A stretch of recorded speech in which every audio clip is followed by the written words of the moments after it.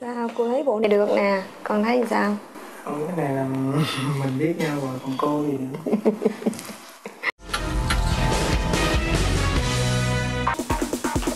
Thật là lạ lẫm.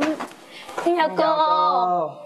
À, xin chào các con Dạ. à, hôm nay đến à, tham quan với à, tiệm áo cưới thì Dạ. à, đây là những mẫu áo cưới mà cô có thể hướng dẫn cho các con xem qua Dạ. thì các con cứ việc tự nhiên xem Dạ à, vâng. bên đây là vậy áo cưới rồi bên kia và dài qua bên kia là có những cái vương miệng những cái bông tai những Dạ. à, Dạ. rồi các Dạ. con cứ việc tự nhiên xem đi ạ cảm ơn cô ạ Dạ. chút nữa khi mà mình lựa xong thì mình sẽ vô có phòng thử cho hai đứa thì mình thử cái nào mình vừa ý nhất thì mình sẽ Cưới nha. Ừm, dạ. rồi xin mời hai con có việc đi ờ, Dạ. ra xem ạ Cô này xinh quá ha Dễ thương ghê Anh cũng xinh mà. anh mặc việc tự nhiên nha hai con Anh cảm thấy là cái nào em mặc thì nó cũng, Cũng đeo đẹp. lên tới cổ vậy Không. Anh mặc váy thay em đi. Thôi Đây, lấy đi.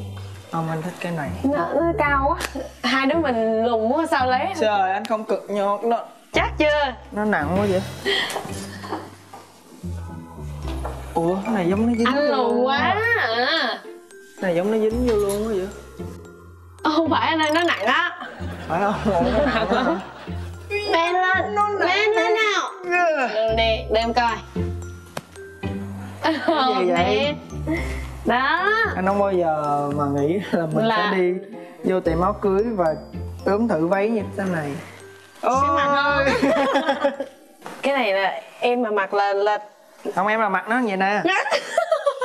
Anh cũng vậy mà anh đâu có Anh đỡ hơn chứ. Hay là mình ờ, nên nhờ ờ, cô xinh đẹp bên kia tư vấn được không? anh thích màu gì? Anh thích màu xanh hả? Anh thích màu xanh. Ủa xanh giống em cái gì Ồ vậy hả? Sao anh mặc màu tím nè? Anh không thấy túi sách em màu xanh hả? Ờ. Nhưng mà giới màu xanh nè. Đó cái đó đó Có cái này được nhất nè. Mua không Lẹp dai luôn. Là dai không? Anh chưa bao giờ đi thử áo cưới làm sao anh biết phải chọn cho em cái nào? Anh làm như là em đi cưới chồng rồi vậy. Anh xin lỗi. Lỗi của anh. Anh chọn cho em đi. Lấy được không? Được. Đó là em mặc váy cưới anh chọn cho em nha. Cái này là em chọn cho anh rồi đó. Đi à. được chưa Rồi. Rồi. Ok được rồi. đi. Mặc cho đúng đi. Giờ mặc cái gì đúng không? Ừ thử đi. Anh chắc chưa? Chắc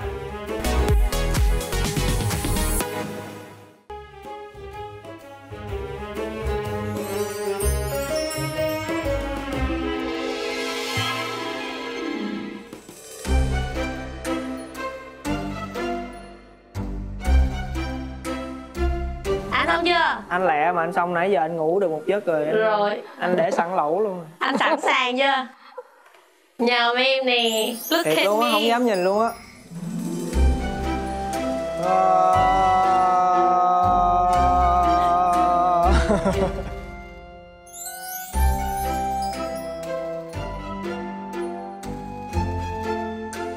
Được. Đưa nè xuống đi. Sao đẹp chưa em mặc được luôn á hả? Ủa anh nghĩ sao? Hay quá vậy. Đẹp chưa đẹp chưa? Nhìn mình với hai đứa trẻ con đi. Cưới vậy đó.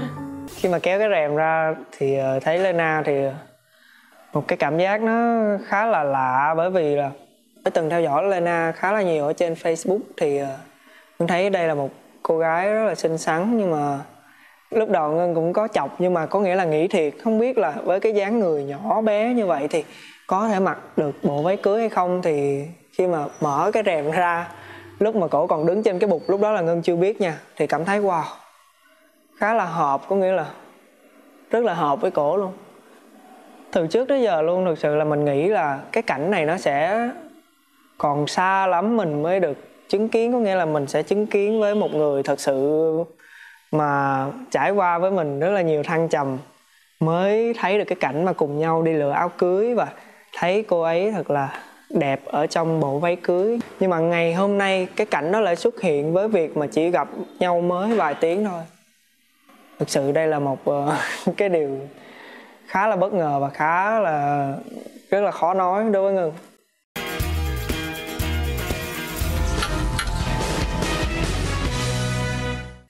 Cảm giác thấy sao?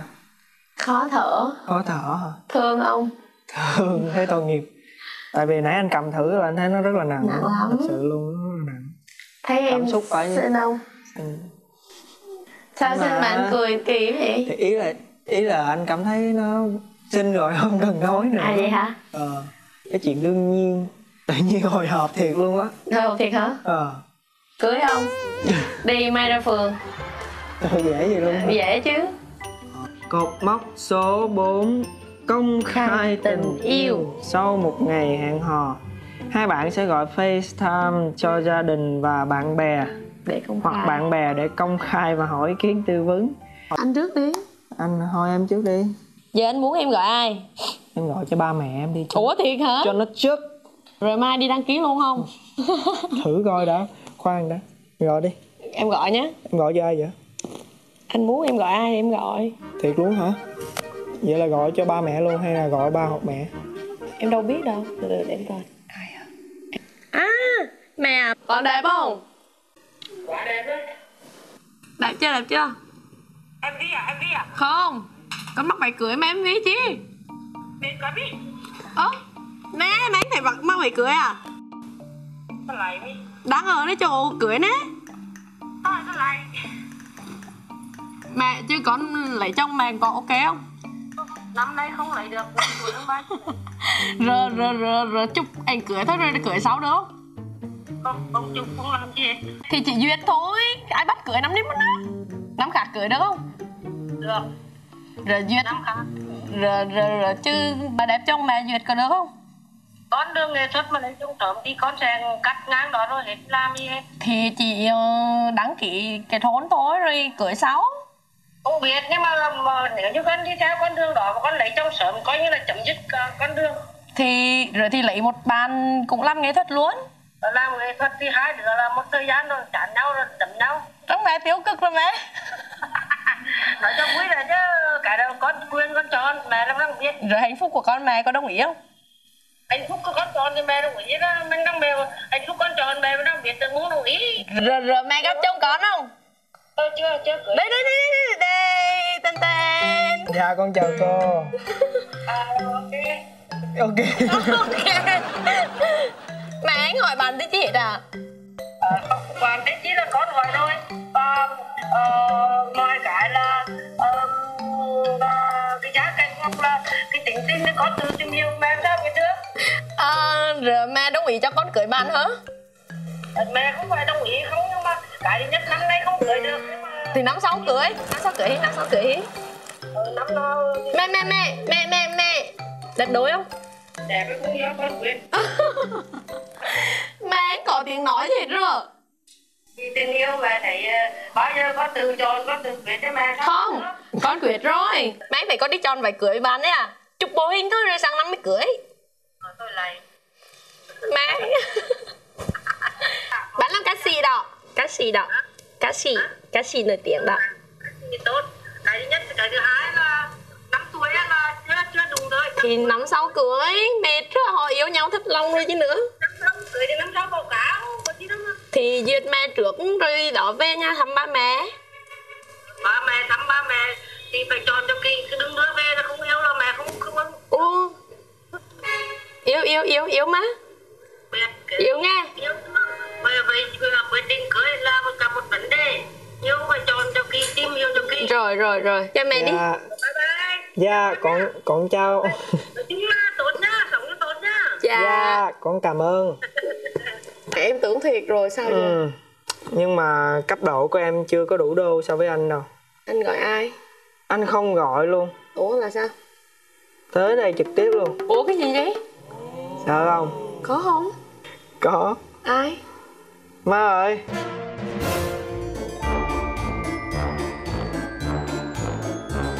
Ma ơi. Ơi. Ủa?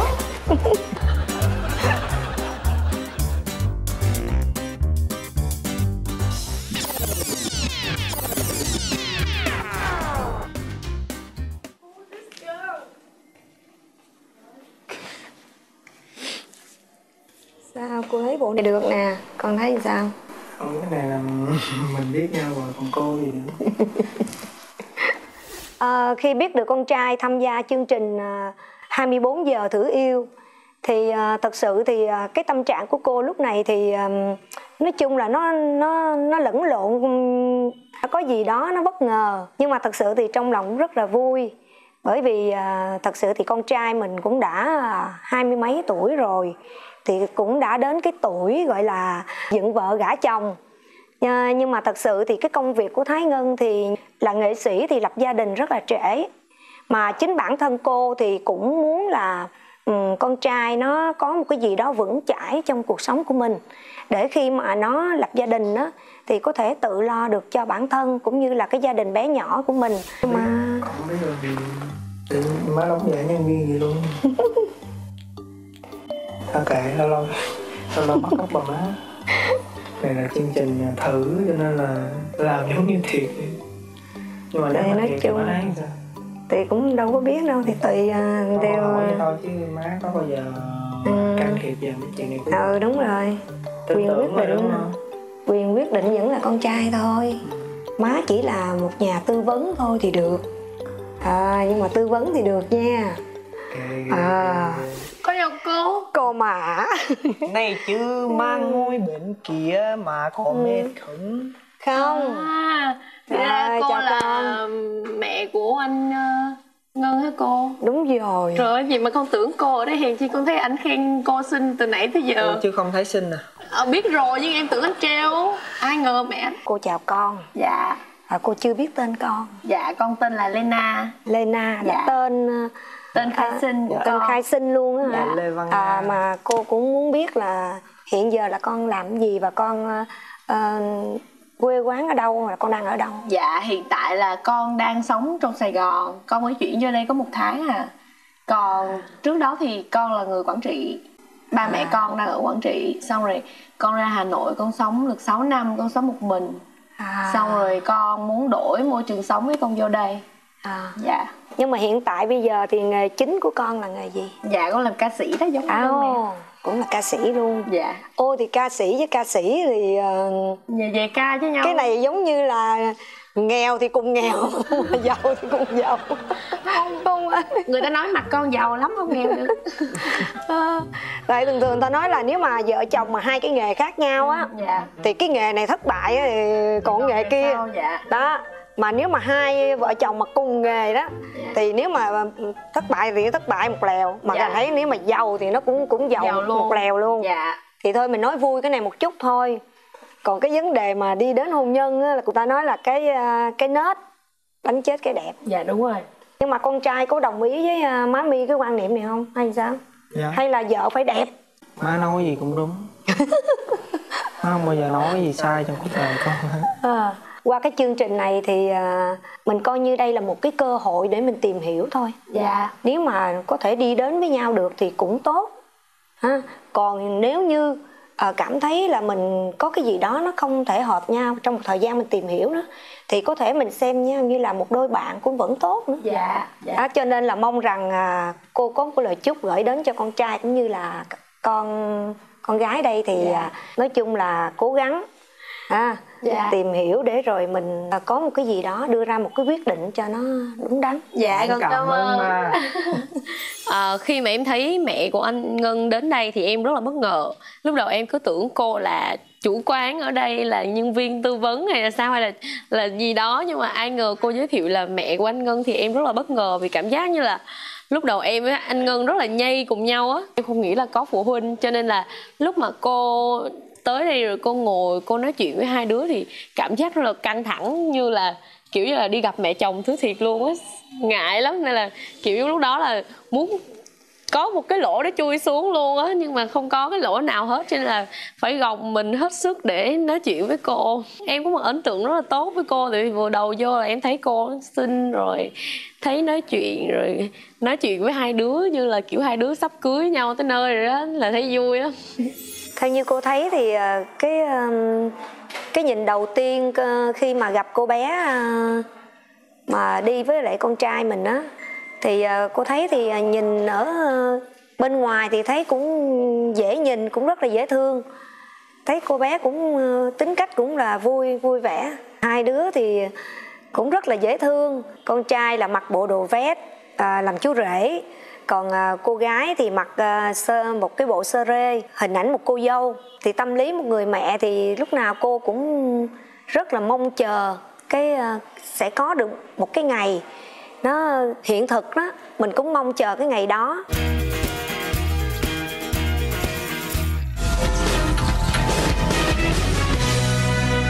Ờ, trước khi ra phường có gì trăn trối không? Thôi bây giờ chăn chối thì uh, chăn chối mình nói thử những cái ờ, cái gì mà mình ờ, cảm Xấu thấy xí ờ, xấu xí của mình thử coi mình có dễ chăn chối với nhau hay không. Rồi. Cái đầu tiên của anh Ờ, sẽ là hơi hơi cọc tính. Vậy hả? Em có à, em thì không cọc em hiền lắm. Em không em hiền thiệt mà. Em không là em là một người rất là nhẫn nhịn nhưng mà đến khi nhịn không nổi nữa thì thì thôi ờ, thì thôi hả ủa là em lặng luôn. Khi mà không muốn nói nữa là, là im lặng luôn. Anh thì có nghĩa là cái gì mà nó đơn giản mà anh nói mà hai ba lần mà không hiểu là tự nhiên anh tự hả? tự bắt đầu lớn tiếng.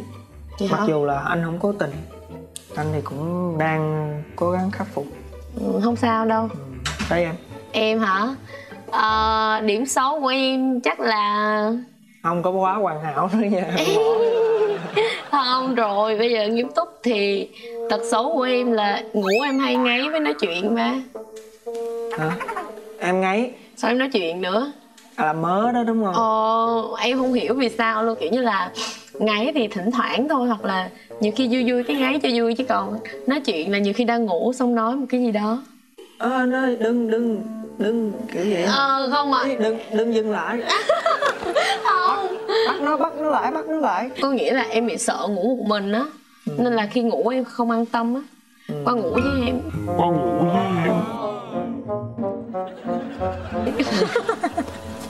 Tật xấu nữa của anh là có có thể là đôi lúc ờ, hơi lười. Lười hả? Không sao. Có những lúc mà có nghĩa là anh bị tụt mút á sau lười không muốn làm gì luôn đúng ờ, không? em gì, cũng anh bỏ, vậy. anh bỏ anh bỏ. Có nghĩa là không muốn đi làm không muốn ăn Ờ, không muốn gì luôn. chỗ anh Em là nằm luôn. hay là anh làm một cái gì đó. Em ngủ luôn. Ồ vậy hả? Ờ. ủa rồi giờ lỡ hai đứa mình đều vậy rồi sao? Thì ờ, căng này nếu mà giận nhau thì em hay um, mặc kệ. không em không mặc kệ. Em có quan tâm nhưng mà em không thổ lộ điều đó ra. Có nghĩa là em cay trong lòng xong rồi em muốn người ta hiểu xong em xong người ta không hiểu hoài luôn. Ồ, này hình như em giống anh á. vậy hả? Ờ. vậy rồi làm sao là- hai đứa mình hiểu nhau?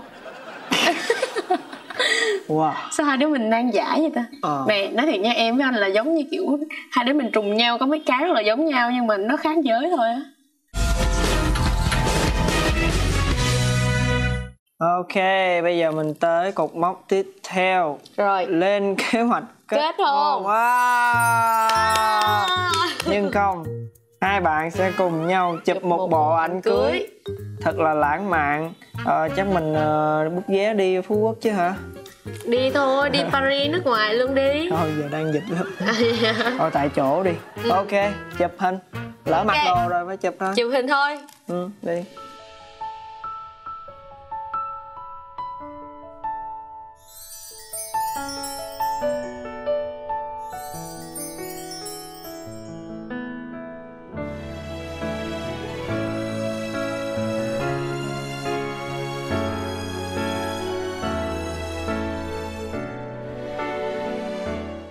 lúc mà Lena và Thái Ngân chụp hình cưới với nhau thì thực sự là hai đứa rất là đơ.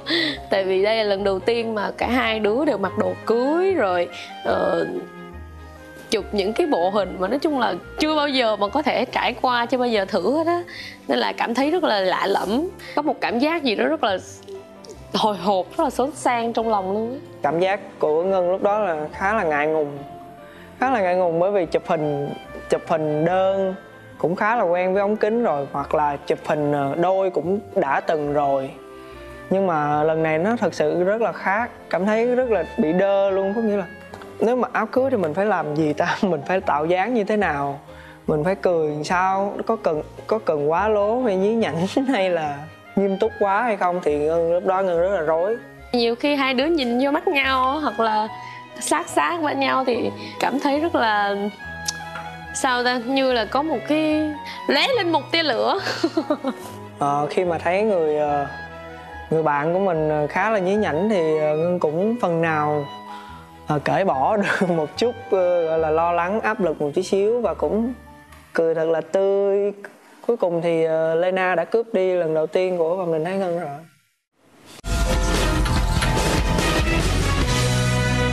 Rồi cũng mốc thứ sáu rồi. 6 mức độ hiểu ý hai bạn sẽ cùng nhau trả, trả lời những câu hỏi của chương trình. rồi. Ok.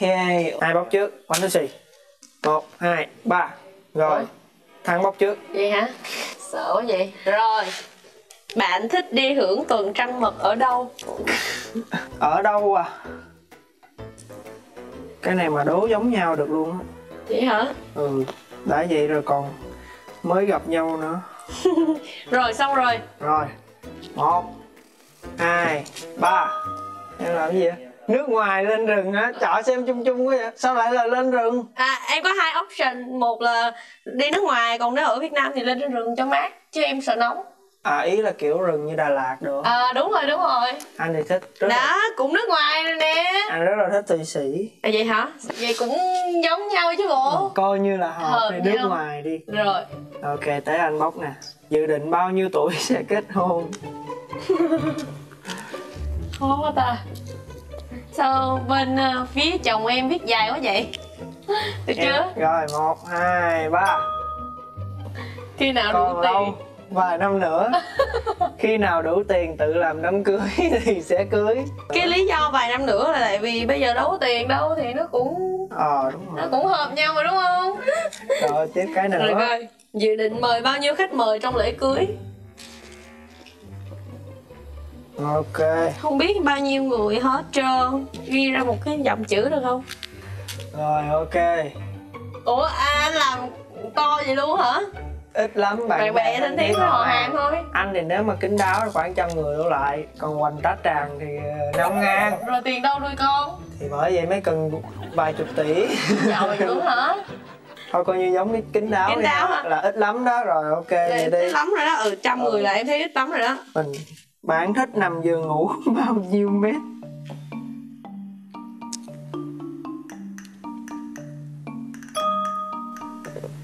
Trời, ghê vậy?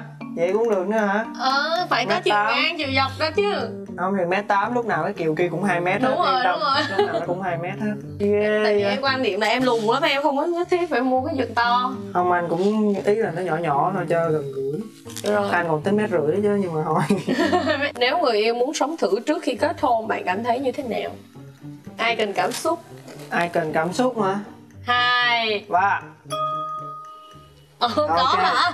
À, Anh nghĩ là cái việc sống thử này nó có nhiều cái mức độ khác nhau. Ừ. Và với anh thì anh suy nghĩ này là mức cái mức độ bình thường có nghĩa là Ừ. mình thân thiết hơn bình thường một tí xíu. Rồi hiểu. Ở Mình- cùng với nhau. Cái mà anh đắn đo nhất ở trong cái việc này đó chính là anh lo sợ về cái lỡ có chuyện gì xảy ra đối với người bạn gái có nghĩa là anh nghĩ cho người bạn gái hơn Ừ. là bản thân anh. Rồi bạn cảm thấy thế nào về tình một đêm? Yêu thích nè không thích hoặc là thích.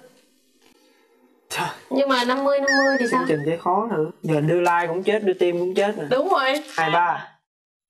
Ôi sao em hai cái? Không phải tại vì em không có chê trách về cái điều này. Có nghĩa là trong chuyện tình cảm á ừ. không nên quá tiêu cực về nó. Anh cũng cảm thấy là tại vì cái câu tình một đêm nó cũng Hơi hơi tới hơi tới nhị ha và nó có khá là nhiều nghĩa ví dụ cả hai bên đều cùng đồng ý thì đều có thể ok. Dám làm dám chịu. Đúng rồi. Kiểu như vậy cũng được quá ha nãy giờ thế hợp nhau quá trời nè. Đi lên phường. dạ. gần một ngày đi với nhau thì hiểu nhau hơn. Buổi sáng thì còn e dè và có những cái ờ, những cái câu nói và cũng như là những cái câu hỏi để mà thăm dò nhau. Thì cho tới gần cuối ngày thì cảm thấy có phần nào có đôi chút phần nào hiểu nhau hơn và cũng như là đối với ngân thì cũng có hơi ờ, đôi chút rung động với lena. Có nghĩa là ngân bị dễ bị thu hút bởi những người con gái mà uh, có cá tính một tí xíu.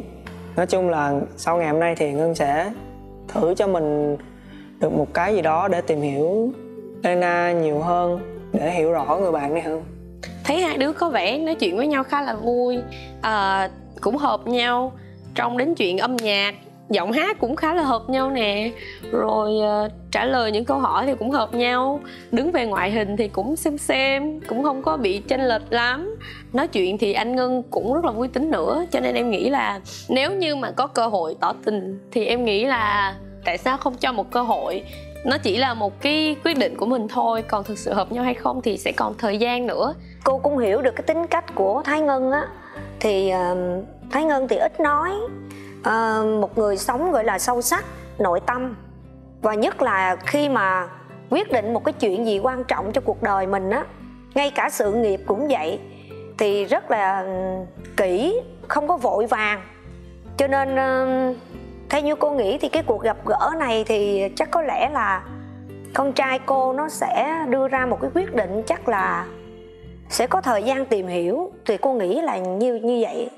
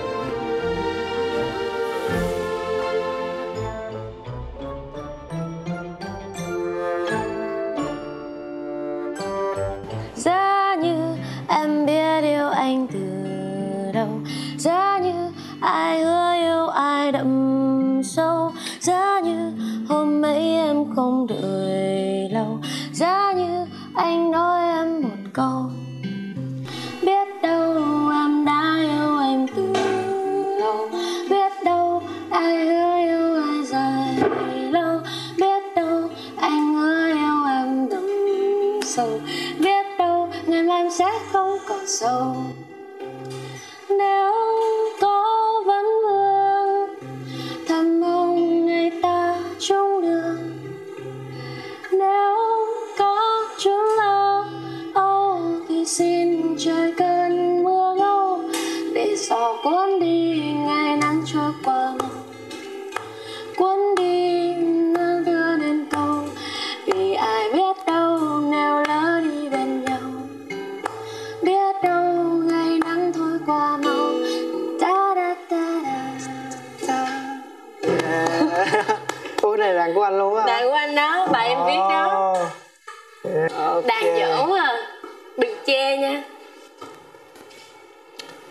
走。rất là nhiều.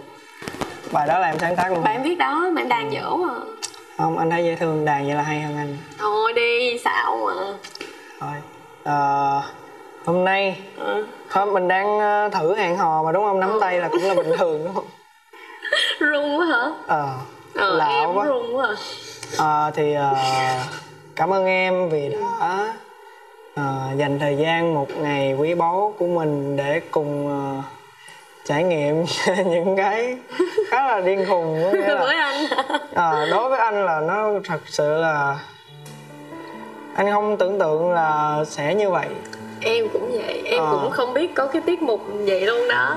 À, anh rất là vui vì ngày hôm nay được uh, biết em có nghĩa là giống như là anh đã từng nói với em là anh uh, uh, nhìn em qua hình thì anh nghĩ đây là một cô gái gai góc và sẽ là uh, khó gần chẳng hạn có nghĩa là hơi một cái gì đó cá tính mạnh quá hả ờ.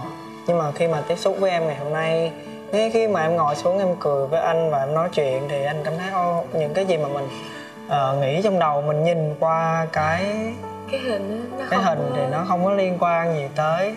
Dạ. anh nghĩ là anh không biết anh cảm giác là em cũng nghĩ với anh như vậy. Thì thực ra là em thì em biết anh lâu rồi từ bài yeah. hát của anh đó. À. nhưng mà đâu có dịp gặp nhau đâu đúng không? Ừ. nhưng mà hôm nay thì em rất là vui vì em thì nó phải cùng tần số đó. em cũng vui lắm đó. Ừ. là sao? Thì uh, anh nghĩ là mình uh, nên có một uh, happy ending một tí xíu. Nên uh, tiếp tục uh, một cái gì đó điên rồ.